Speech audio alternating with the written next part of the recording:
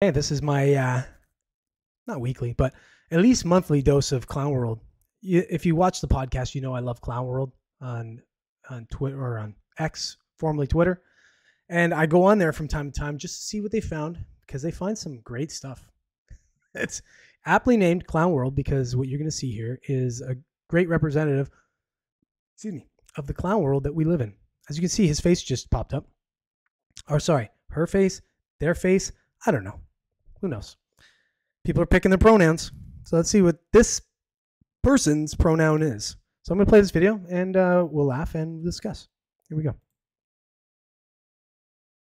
Hi, my name is Luce. I'm a trans and polyamorous therapist in Texas, and this is my therapy theme of the week. This week's theme honors Lesbian Visibility Week. Um, as I myself am a trans lesbian, this is what I want to say Natural. about lesbians. One of the reasons why I love being a lesbian and I love lesbians is because we get to show the world that it is possible to love outside the dimensions of patriarchy. We, with Sapphic Love, create Sapphic love. an entirely different dimension, an entirely different way of loving people and living, and it's so fucking beautiful.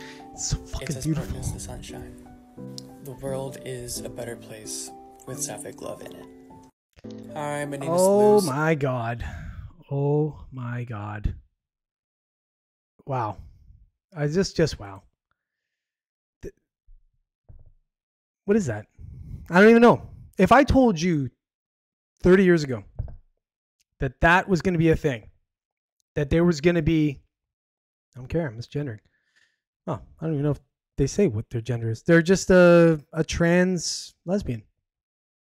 Clearly a dude who's a lesbian. Not weird. None of it makes any sense, apparently does. And uh, they're a therapist. That's the best part of it right there. If you need therapy, that's where you go. You're find this person in Texas. Of all places, Texas. You wouldn't think Texas, but there they are. There's your Clown World video of the week. I'm sorry if it wasn't as funny as they normally are. They're normally a little funnier. That's almost just disturbing, but funny in its own way. Um, I don't know what else to say about that.